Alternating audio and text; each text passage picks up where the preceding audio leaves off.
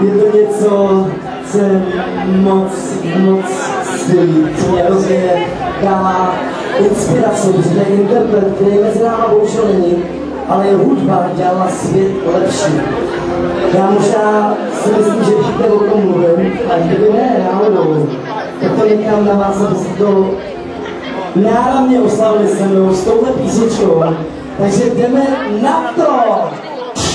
Thank you.